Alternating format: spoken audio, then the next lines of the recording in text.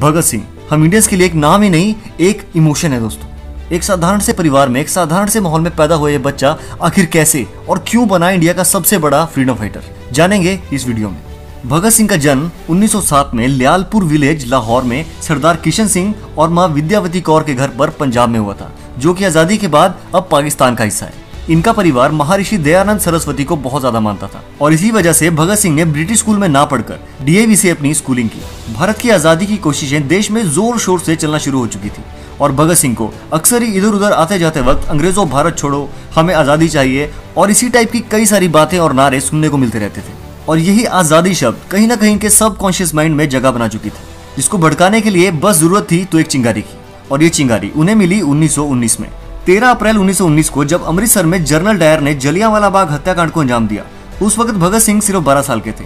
इस हत्याकांड के बारे में सुनकर 12 साल के भगत सिंह अंदर तक हिल गए और अपने घर से निकलकर इन्होंने जलियांवाला बाग की तरफ़ चलना शुरू कर दिया। और वहाँ पहुंचकर जब उन्होंने चारों तरफ़ कटे हुए अंग और खून ही खून देखा ना तो उनका रोना निकल गया। लेकिन जब रोकर वो चुप हुए ना, तब वो भगत सिंह, वो 12 साल का बच्चा नहीं बचे थे। उनकी लाइफ का पूरा मीनिंग ही उस दिन बदल चुका था। वो घर आए तो देखा कि उनके पिता खेत की तरफ़ जा रहे थे। उन्होंने पिता से पूछा कि आप कहाँ जा रहे हो? तो वो बोले कि मैं खेत में जा रहा हूँ, आम की गुठलियाँ लेके। इन्हें खेत में लगाऊँगा जिससे पेड़ बनेंगे और पेड़ पर बहुत सारे आम लगेंगे। तो इस पर पता है उस बारह साल के बच्चे भगत सिंह ने क्या कहा?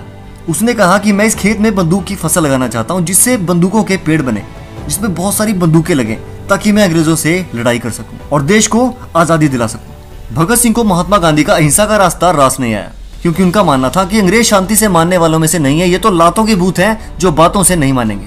1925 में इटली के एक नेता पत्रकार द्वारा शुरू किए गए यंग इटली मूवमेंट से भगत सिंह बहुत ज़्यादा प्रभावित हुए और उन्होंने कॉलेज छोड़कर मार्च 1926 में नौजवान भारत सभा की स्थापना की। लखनऊ के काकोरी कांड की हियरिंग में जब पंडित राम प्रसाद बिस्मिल और उनके पाँच साथियों को फांसी और सोलह अन्य को आजीवन कारावास की जब सजा सुनाई गई ना तो उस बात से भगत सिंह को इतना ज़्यादा गुस्सा आया कि उन्होंने अपनी पार्टी नौजवान भारत सभा को चंद्रशेखर आज़ाद की पार्टी हिंदुस्तान रिपब्लिक एसोसिएशन में मिला लिया और दोनों ने मिलकर इस पार्टी को एक नया नाम दिया एच एस आर ए यानी हिंदुस्तान सोशलिस्ट रिपब्लिक एसोसिएशन। इस पार्टी का मकसद सेवा, त्याग और दर्द झेल सकने वाले जोशीले युवक तैयार करना था, जो वक्त पड़ने पर बेखौफ होकर अंग्रेज़ों का सामना कर सके। इसके अगले ही साल घर वालों के इनके शादी के लिए प्रेशर देने पर ये घर छोड़कर कानपुर भाग गए। और पीछे फैमिली के लिए एक लेटर छोड़ गए, जिसमें लिखा कि मेरी ज़िंदगी दुनिया के बाकी किसी भी सुख या आराम या भोग के लिए नहीं है, और ये सिर्फ़ और सिर्फ़ अपने देश के लिए बनी है, और देश के लिए शहीद होगी। सिर्फ़ देश की आज़ादी ही अब मेरी दुल्हन होगी। हो सके तो मुझे माफ़ करना। अंग्रेज़ी सरकार को भगत सिंह के इरादों की भनक लग गई।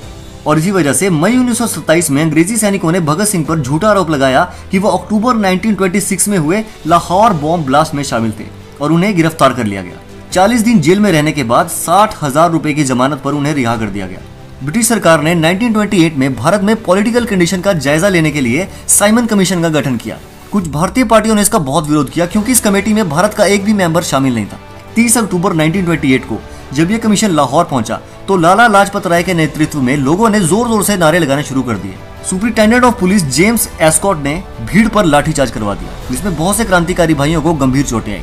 पर लाला लाजपत राय को इतनी बुरी तरह से पीटा गया कि उनकी हालत गंभीर हो गई, और इसके कुछ ही दिन के बाद 17 नवंबर 1928 को इनकी डेथ भी हो गई। इस घटना के बाद भगत सिंह, चंद्रशेखर आज़ाद, शिवराम राजगुरु और सुखदेव थापर ने लाला जी की मौत का बदला लेने की ठान ली।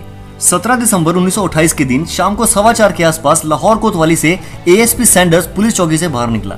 जयगोपाल को लगा कि यही जेम्स एस्कॉट है और उसने बाकी साथियों को इशारा कर दिया। इशारा मिलते ही राजगुरु ने एक गोली सीधे उस अंग्रेज़ अफसर के सिर में मार डाली और इसके बाद भगत सिंह ने उसे तीन चार गोलियाँ और मारी। जब ये वहाँ से भाग रहे थे तो एक सिपाही चनन सिंह ने इनका पीछा करना शुरू कर दिया। पर तभी चंद्रशेखर आज़ाद ने उसे पकड़कर कहा कि आगे बढ़ने की कोशिश भी की ना तो गोली सीधा तुम्हारे सीने में उतार दूँगा। पर वो नहीं माना। और आज़ाद ने उसे गोली मारकर वहीं ढेर कर दिया। इस तरह इन्होंने अपनी तरफ़ से लाला लाजपत राय की मौत का बदला ले लिया था, पर उन्हें पता नहीं था कि दरअसल उन्होंने जेम्स एस्कॉट की जगह एएसपी सैंडर्स को गोली मार दी। भगत सिंह और उनके साथी दो दिनों तक लाहौर में एक गुप्त जगह पर छुपे रहे। भगत सिंह अपनी आवाज़ लोगों तक पहुंचाना चाहते थे। इसके लिए उन्होंने फ्रांस के एक विद्रोही क्रांतिकारी अगस्ते विलियन से प्रभावित होकर सेंट्रल असेंबली में बॉम्ब फेंकने की योजना बनाई। वो कहते थे कि अंग्रेज़ों को ऊँचा सुनाई देता है और उनके कान अब ब्लास्ट से खुलेंगे। और ये करने के पीछे उनका मकसद सार्वजनिक सुरक्षा विधेयक और व्यापार विवाद अधिनियम के खिलाफ विरोध करने का था। ये दोनों बिल विधानसभा में खारिज कर दिए गए थे, पर उस वक्त के वायसराय ने अपनी स्पेशल पावर्स का इस्तेमाल करके ये बिल पास करवा दिए थे, जो कि भारतीय जनता के हित में बिल्कुल भी नहीं थे। इसी इरादे के साथ 8 अप्रैल उन्नीस सौ उनतीस को भगत सिंह और उनके साथी बटुकेश्वर दत्त ने सेंट्रल लेजिस्लेटिव असेंबली में दो बॉम्ब ब्लास्ट किए। ये बॉम्ब सिर्फ़ अंग्रेज़ों को डराने और आगाह करने के मकसद से फेंके गए थे उनका मकसद किसी की भी जान लेना नहीं था। ब्लास्ट करके वो वहाँ से भागे नहीं और खुद को सरेंडर कर दिया। इस पूरे किस्से के दौरान वो दोनों इनकलाब जिंदाबाद के नारे लगाते रहे। उन्हें गिरफ़्तार किया गया और उनके खिलाफ केस फ़ाइल किया गया। जेल में भारतीय कैदियों के साथ होने वाले बर्ताव और बेसिक सुविधाओं के खिलाफ उन्होंने और उनके साथ जेल में कैद एक नए साथी जतिन दास ने भूख हड़ताल शुरू कर दी, पर अंग्रेज़ी सरकार टस से मस नहीं हुई। और काफ़ी दिनों की भूख हड़ताल के बाद सितंबर 1929 में उनके साथी जतिन दास की भूख प्यास की वजह से मौत हो गई। बाहर आम जनता में जब ये बात पहुँची तो आम आदमी भी आज़ादी के इस आंदोलन में भाग लेने लगा। सालों तक भगत सिंह को जेल में टॉर्चर किया गया और फाइनली 26 अगस्त 1930 के दिन कोर्ट ने भगत सिंह और उनके साथियों को एएसपी सैंडर्स और हवलदार चानन सिंह की हत्या के साथ साथ और भी कई सारे मामलों में दोषी पाते हुए भगत सिंह राजगुरु और सुखदेव को फांसी की सजा सुनाई गई। फांसी की सजा सुनाते ही दंगों के डर से लाहौर में अंग्रेज़ी सरकार ने धारा एक सौ चौवालीस लागू करवा दी। दोस्तों, शायद आप ये बात नहीं जानते होंगे कि फांसी की तय तारीख 23 मार्च नहीं, बल्कि 24 मार्च 1931 रखी गई थी। लेकिन फांसी के वक्त जनता कोई हंगामा न मचा दे। इस डर से 23 मार्च 1931 को शाम साढ़े सात के आसपास इन तीनों देशभक्तों को फांसी पर चढ़ा दिया गया। फांसी की सजा से पहले भगत सिंह ने अपनी माँ से कहा था कि फांसी के बाद मेरा मृत श्री लेने के लिए तुम मत आना, माँ। क्योंकि तुम ये देख नहीं पाओगी और तुम्हें रोना आ जाएगा। और मैं नहीं चाहता कि कोई भी भगत सिंह की माँ को रोते हुए देखे। तेरा बेटा देश के लिए पैदा हुआ था और देश के लिए जा रहा है। फांसी के बाद अंग्रेज़ी सैनिकों का प्लान इनकी बॉडी को ठिकाने लगा देने का था।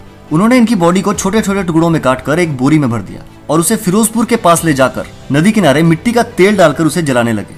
आसपास के लोग वहाँ भाग कर आए तो जल्दी जल्दी में सैनिकों ने अध जले बॉडी के टुकड़ों को नदी में फेंका और वहाँ से भाग गए। लोगों ने बड़ी मेहनत से टुकड़ों को इकट्ठा करके पूरे विधिवत तरीके से उनका अंतिम संस्कार करवाया। इनकी शहीदी के ठीक 16 साल के बाद 1947 में फाइनली इंडिया अंग्रेज़ों की कैसे आज़ाद हुआ। धन्य है हम लोग, जो हमारे पास में भगत सिंह जैसे वीर पैदा हुए। इनका बलिदान भारत देश हमेशा याद रखेगा और हमारी आने वाली पीढ़ियों को भी हमेशा प्रेरित करता रहेगा। भारत के इस बेटे को हमारा कोटि कोटि प्रणाम और दिल से सलाम। वीडियो अच्छा लगा दोस्तों तो प्लीज़ लाइक करके हौसला बढ़ाइएगा और ऐसे ही वीडियोस के लिए चैनल को सब्सक्राइब ज़रूर कीजिएगा। जल्दी मिलते हैं एक और अच्छे वीडियो के साथ। तब तक के लिए शबक है